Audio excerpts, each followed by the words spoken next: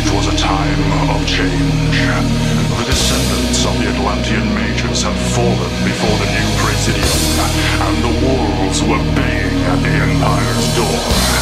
An oppressive new faith was encroaching from the east, and the Sylvan Liege had locked tight the gates of his arboreal realm. And so it was that towards the end of the Age of Mystery, the last of Albion's great dragon lords did gather, what would be their final